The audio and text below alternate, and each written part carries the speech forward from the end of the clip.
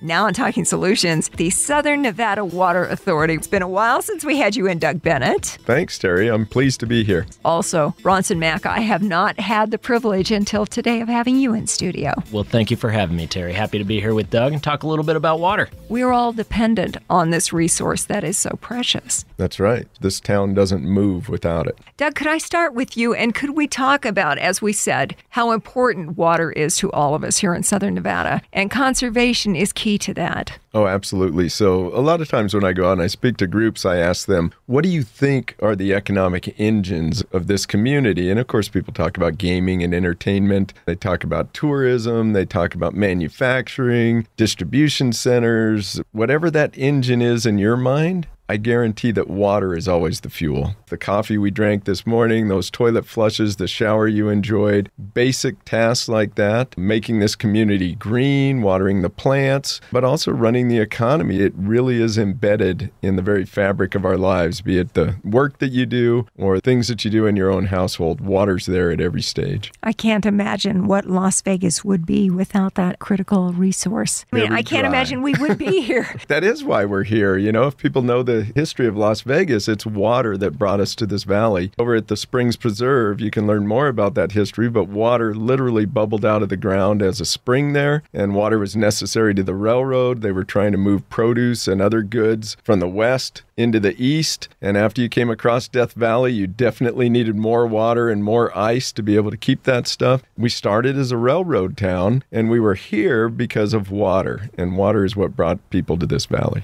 Doug Bennett, when we talk about conservation, which is so critical, and a lot of other communities have all of these different programs that work on diminishing the water use for your toilets, your faucets, the shower heads, things like that. They have a lot of rebate programs. Do we? You know, Terrie, we do, but I want to emphasize that that's not really the most important fraction of our water use. So keep in mind, we're a super young city. In fact, probably 75% of all households already have highly efficient toilets and fixtures and fittings because these houses are fairly young. Anything built after the early 1990s is going to be equipped with those kinds of products. So you go to an older eastern city, they may still have toilets that are flushing five or seven gallons, you know, these ancient fixtures, and they want to change those out. Here, though, it's important that people realize that nearly 100% of the water that we put to the sewer your shower, your laundering, your hand washing, and toilet flushing, all of that water is going to go to a treatment plant. It's going to be cleaned and it's going to be reused. So it's not the most critical fraction. What's important is the water that we're using in what we call consumptive uses. Consumptive uses are where you took it from the river, you brought it into town, and it's never seen again because it gets evaporated to the atmosphere. So, landscaping and irrigating landscapes is the number one consumptive use in our valley. Some of the other important things, you know, obviously swimming pools and fountains are going to evaporate water into the air. And one that people don't think of a lot is the cooling of large buildings. Cooling towers maintain the temperature inside these giant buildings, and cooling is another significant consumptive use. So, we got to focus on those consumptive uses. They're the ones that eat up our water supply. Don't get me wrong. I'm not telling you, don't go say the water conservation guy said you could shower as long as you want because it's a big loop. You're still wasting resources. You're wasting energy. You're wasting infrastructure when you do that. So behave properly in your house, but go outside. That's where we can focus on conservation the most. Doug Bennett is with us from Southern Nevada Water Authority along with Bronson Mack. We're talking about all kinds of wonderful water issues, conservation issues. I love it when somebody moves to town because I like to try to give them little tidbits of information. And I can't think of anything more interesting than the way Southern Nevada uses our water. I love to tell them about this incredibly high percentage of water that actually goes down the drain in your house and ends up reprocessed, cleaned, and sent back to us. The amount of water usage that we are able to do a second time and beyond. I don't think most cities do that, or am I wrong? You know, we're fairly unique in that respect because most cities have more diverse water supplies. They may be getting water from different sources and they may have different rules for all of those sources. But I don't know. How about you, Bronson? You know of any other city on the Colorado River that has as high a percentage of reuse? Well, certainly there isn't another city on the Colorado River that utilizes water in the sustainable manner that we do, taking all of that indoor water, treating it to near drinking water standards after it's been used in our homes and businesses, and then returning that water back to Lake Mead. And for every gallon, Terrie, that we put back in Lake Mead, we get to take another gallon out and we can bring that into the water as treated drinking water. But as far as another community, certainly not of the size of Las Vegas, that is doing water reuse activities to the level that we are, there isn't another. We have community wide reuse here in Southern Nevada, and that's why we focus our conservation efforts on the outdoor water use. What's great about that reuse, that is stretching our supply by 70%. So a gallon of water actually has 1.7 gallons worth of usage to us because of that looping effect of being able to reuse water. Wow. What is the biggest water user here in Southern Nevada?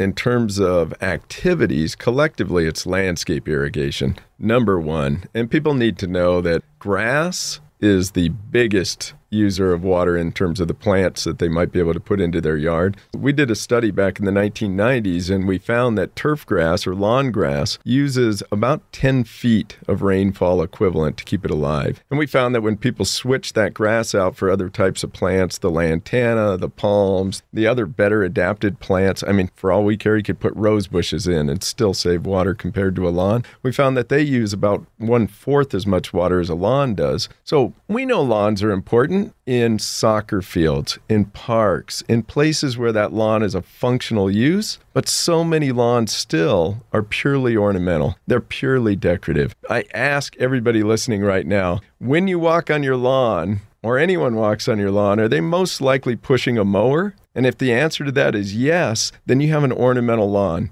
You're not kite flying, you're not Easter egg hunting, you're not playing frisbee on it. You're mowing it, you're watering it, you're fertilizing it, you're pouring resources into it purely for decorative effect. And we would prefer that you chose any grouping of these 500 other plants that do well in southern Nevada that are climate adapted and use a tiny fraction of the water. And we even want to pay you to switch out. We're paying $3 a square foot now, Terrie. I think the last time I came, we were paying $2. Yeah. So we really need people to heed this. We think there's still as much ornamental turf out there today as we've taken out over the past 15 or 17 years. We got to reach that resistant audience. We got to get people to realize that their landscape can be beautiful and water efficient. You know, it's funny. I was down in Phoenix a little more than 30 years ago.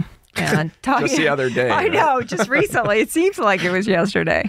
But we were first talking about xeriscape, zero water use, desert friendly plants, which should be the case for anyone here in the Southwest. But one of the things they had suggested, even all those years ago, is look, if you need a little grass, put it in the back where you and the kids might actually use it, as opposed to having it just as this big, glorious, beautiful stretch right. of green in your yeah, front wall yard. to wall, property line to property line. That's a good point. A lot of people say, well, I kind of like my grass. Well, let's figure out which part of your grass is actually the usable fraction of it. So we have a lot of people that say, I'm going to change my front yard, but I'm going to keep my backyard. Or they say, I'm going to keep a certain area of my backyard as turf grass. Our program's adaptable. It's not all or none. If you have a large back lawn and you want to shrink it down so you have easier maintenance and lower water use, then you can change the design of your yard, keep some of that turf grass, and still get rebates for the areas that you change out. So it's a very flexible program. There are many ways to participate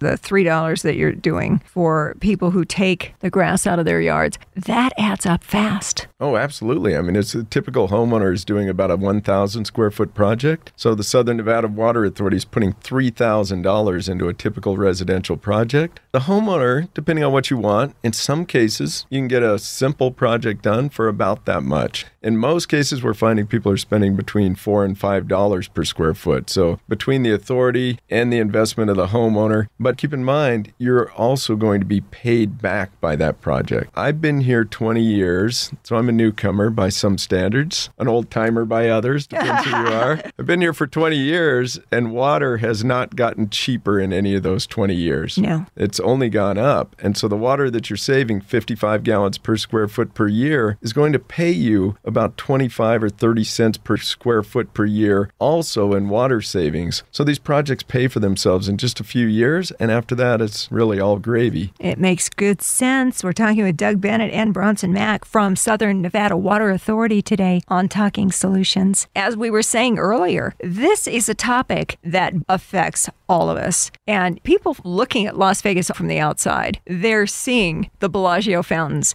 that is like the hallmark that tells you when you're watching TV, oh, yeah, it's Las Vegas. As far as usage of water on the strip, because I think that's what a lot of people believe is the big water user when they get here. They go, oh, those big hotels and that Bellagio fountain. Right. Who's actually the big water user? like I said, landscaping is one of the biggest demands, but I was one of those people when I moved here in 2000. I came here and I looked at the strip, and I moved here from Albuquerque, New Mexico. The strip has signage that is the size of the tallest building in Albuquerque. I might be exaggerating a little, but I mean, I I, was just right. awestruck and I thought, wow, look at all of this. And I originally thought the strip just must command a huge fraction of the water resources in this area. Surprisingly, the strip, because of its magnitude, is very efficient. We did some analysis of strip properties and we found that only 4% of the area of land that they occupy is dedicated to water or plants, right? Those things that we're evaporating water into the atmosphere from. So most of it is buildings and vehicle circulation. Surprisingly, we also found that a mega resort is more efficient than your typical 200 unit motel that you'd find in every town USA because of their scale. So you may feel like, look at all those swimming pools, look at all this. For example, a big resort like that only has 10 square feet of swimming pool per occupied room. So it's one of the tiniest fractions. It seems like a lot, but there are 5,000 rooms in that building. So you've got to provide that space. So they're very efficient. You look by contrast at a residential swimming pool, people typically have 120 square feet per occupant of those households available in their swimming pool. So what we want to do is get mileage out of water. We want to put water to use. That's what efficiency is based upon. It's things that aren't being properly utilized that are wasteful. Letting water run down the street is wasteful. It didn't provide any benefit to us. Having a water thirsty lawn that nobody ever really plays on that could have been other plants, that's wasteful. Having a football field that nobody ever plays on, that would be wasteful. We're not opposed to turf grass. Let's put it in the right place. Let's make sure that feet are playing on it, that it's the right plant in the right place. We're not opposed to swimming pools. Get in and swim. That's what we want. We want people to use these things and get mileage out of it. That's what we're looking for is greater efficiency and eliminating waste. You're talking about playing on grass. That leads me to the question what about the golf courses that are so prominent here in southern Nevada? You know, the golf courses have been super responsive. I don't golf, and we just held a meeting with some of the golf course professionals the other day, and one of them came in, and one of my colleagues is a golfer, and he said, Oh, I'm so glad to see somebody at the Water Authority supports golf. And I had to explain to him, We all support golf. We want you to be good at what you do. I want as many golfers on that course as they can possibly host, because that golf course is going to use the same amount of water every year, whether there's 100 golfers or 50,000 golfers. We want 50,000 golfers on that course, right? Get the greatest economic benefit out of it. But those golf courses have also done tons of turf conversion. Collectively, the golf courses have removed and converted enough turf grass that would be the equivalent of the grass required to build nine additional golf courses. So, nine golf courses worth of turf grass have come out of about 40 golf courses in the valley. They're certainly doing their job. And we said, we're not going out to tell people you can't. We're not saying can't and don't. We're saying, how can we do whatever we're doing better? How can we have more efficient resorts? How can we have more efficient businesses? How can we cool this building more effectively? How can I have a golf course that turns more rounds and has less turf grass and a smaller water footprint? All we're asking is for people to partner with us. We're willing to put in our share. We've had tens of thousands of customers in the valley that put in their share, and we're all making progress together. Doug Bennett and Bronson Mack are with us from the Southern Nevada Water Authority.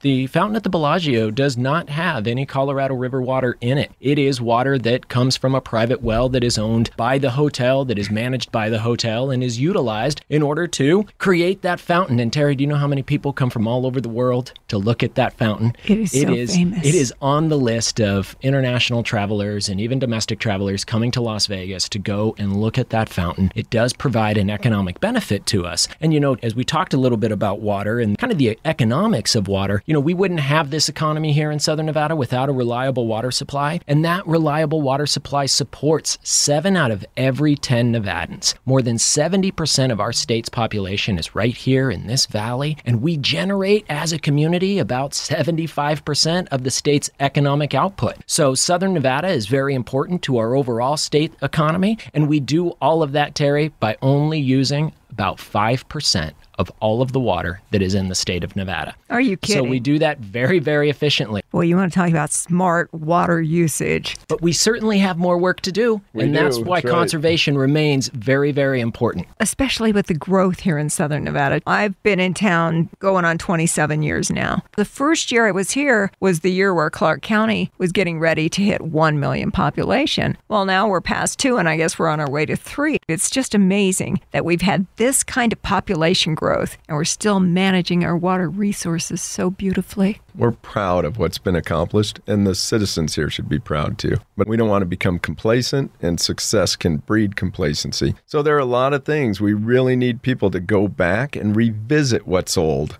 Watering on your scheduled days, not running water down the street, converting unutilized turf. Those are the three main messages that we have for homeowners and business owners right now. Talking with Southern Nevada's Water Authority, Doug Bennett in house. Also, Bronson Mack is here. Doug, when we were talking about water in the gutters, nobody wants to see the water in the gutters, I'm figuring. No, no, and the and the person who put it there is throwing their money away. Their intention is probably to water some plants, but because they either have an inappropriate system, they might have inappropriate scheduling, they're watering on the wrong days. Heck, Terrie, I got to tell you, in February it snowed. We had this amazing weather here. I felt like I lived in the Rocky Mountains, right? It was fabulous. We found people irrigating sprinklers running on top of snow covered yards. Total waste, and somebody's paying for it. And they're not just paying for it on their water bill, we're all paying for it in our water resources. We have a limited supply that we all share here, and we will be sharing for the eternal future, and we all have a responsibility to manage that. So, yeah, you can get in trouble for wasting water. You water on the wrong day, you let water run down the street. That's water waste, and it is against the law in all jurisdictions of Las Vegas. You're going to see ramped up enforcement of that.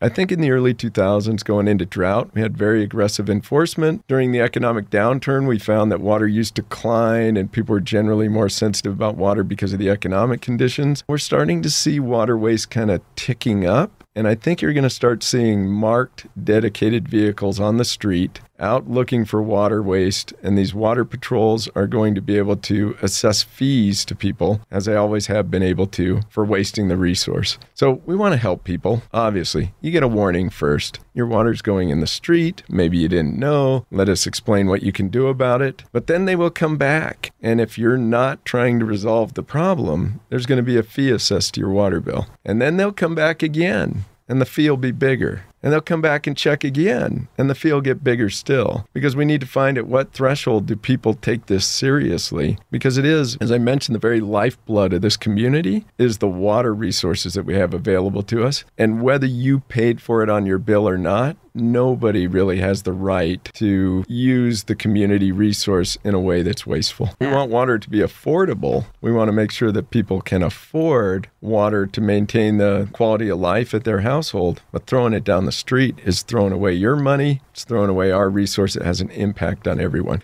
You know, Lake Mead has been in a drought over the past 18 years. And in fact, it was 2002 when the flows of the river were 25% of average, and then 2012 and 2013 were our two driest back to back years on record. And if we look at that 18 year period, since the turn of the century of 2000, we have had only four years of above average flows in the Colorado River. So that's 14 years of below average flows into the river and the water flowing into Lake Mead. We've got more water going out of Lake Mead to meet water demands in California, Arizona, Mexico, and here in southern Nevada than we do flowing in to the lake. And that's why we have seen that drop in lake elevation. We see that white bathtub ring on mm-hmm. Lake Mead. And that's why conservation remains so critical for us here as a community. It's really important. And yeah, the drought has gone for a long time. There's a huge deficit in Lake Mead. It's been going on so long, 18 years, that when you look at that white bathtub ring, which is about 130 feet, is that right, Bronson? Correct. 130 feet of whitewashed rock. There are now shrubs growing in that whitewash area that are as big as people. Oh, That's how long this has been going on. And so don't be complacent, folks. You know, because it rains in the valley, it's a great opportunity, but it's not a fix. We need to take advantage of it, but don't count on that to erase some of the challenges that we have surrounding water in this valley. We have a plan for a sustainable supply, but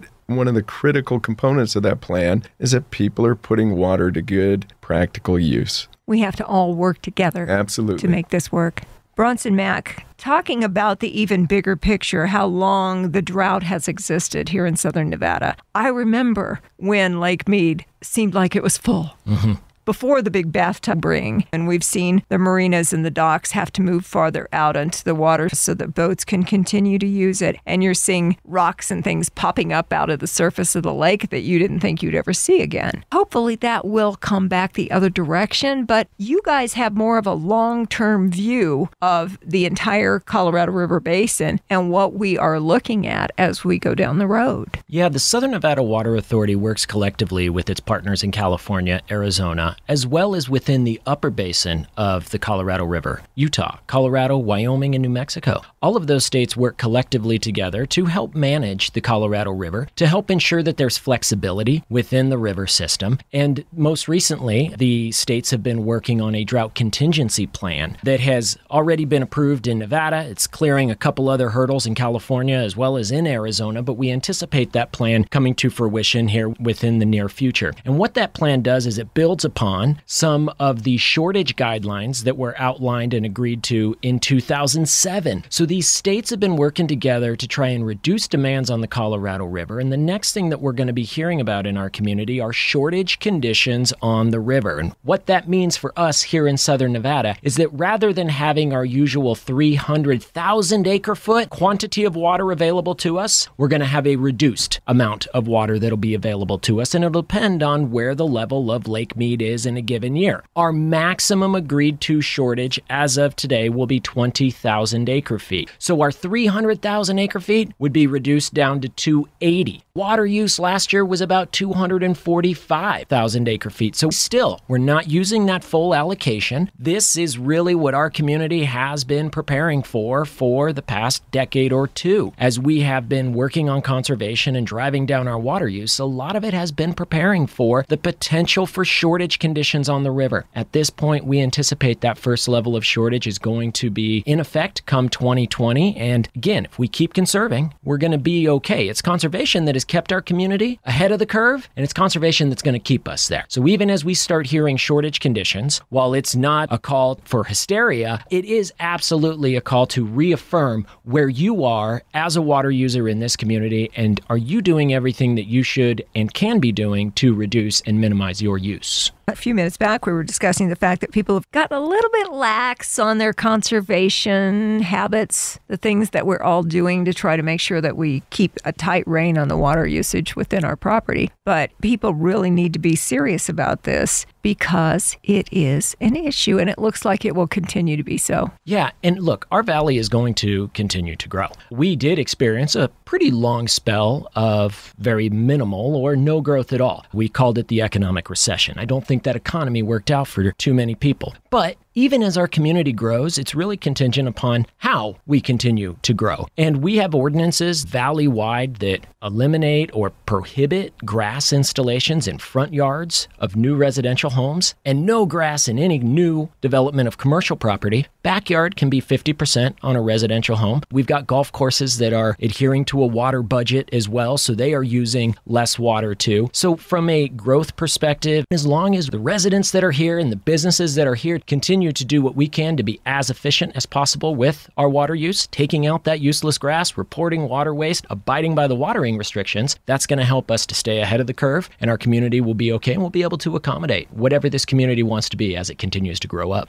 I'm really proud of our community, all the things that we're doing. As part of Talking Solutions, we always ask, what can we do to help you? I've given people, I think, a giant chore list here, Terrie, but it's a good feeling to know that you're doing right, not just for your community, not just for your family, but I think for this planet as a whole. The less we use of every resource this planet avails to us, the less impact we're going to have, the smaller our carbon footprint. There are a lot of different reasons people can find that some of these solutions are going to be in their interest. In many cases, you have to ask yourself when my children and grandchildren grow up here, and everybody likes to think Las Vegas is a place they visit for a couple of decades of their life, but this place produces the jobs that put your children and your grandchildren to work. They are part of those new homes that go in what are you leaving behind for them? Are you leaving a bill for them to pay in terms of resources? Or are you leaving an asset for them to be able to enjoy the same quality of life here that you've enjoyed? I want to leave the best things I can possibly offer. Bronson Mack, we have the same question for you. As part of Talking Solutions, what can we do to help you? There are three things that as a community we can do from a water conservation perspective. We've heard Doug talk about getting rid of that useless grass, lobbying your HOA or your local business to remove that grass. Second thing, abide by the watering restrictions. Go to snwa.com, make sure you know what your watering days are, because if you're watering outside of those days, yes, our water waste investigators may come along and you could end up getting a warning or a fine. So, abiding by the watering restrictions, adjusting that sprinkler clock, reducing that seasonal water use is the easiest thing that we can all do as a community. And I'll tell you this if we can navigate that smartphone or even set an alarm clock next to our bed, we can go out and change that sprinkler clock and make sure that it's set appropriately. It's that easy. Go to snwa.com for more tips. Summer watering, you can water six days a week, but not on Sundays. Nobody gets to water on Sundays during the summer. Always ask yourself do I need all six? Do I need all three in the spring and fall? In fact, even in the winter, did you know Anthem Golf Course did not apply any water to their golf course from December through February? Really? We had enough precipitation in this valley that they didn't water at all during those months. So ask yourself, even when you're assigned one watering day per week, sometimes the weather says, I don't need any of those. So we're still asking people, don't just go blind. Obviously, adhere to the watering restrictions at minimum, but in many cases, a lot of us can do better by applying a little thought and going out and checking the condition of our landscape. And I notice a lot of times the people doing the weather forecast, they will say, hey, by the way, we've had some precipitation today. Go turn off your Bless sprinklers. them. They Yeah, have been yeah. great partners, and we are so appreciative of them helping getting that message out. Talking about our water usage and how we can all really make a difference with our friends from the Southern Nevada Water Authority, Doug Bennett and Bronson Mack. Is there anything I'm forgetting? Did you feed your dog this morning? I don't have a dog. Oh. I'm all cats, babe. Feed the cat? We've hit all the major issues water resource and conservation. Well, you know that the door is always open to update us on our situation with water in Southern Nevada, as critical of a resource as it is. Doug Bennett, Bronson Mack, thank you so much for joining us today from the Southern Nevada Water Authority on Talking Solutions. Thanks, Terrie. Thank you, Terrie.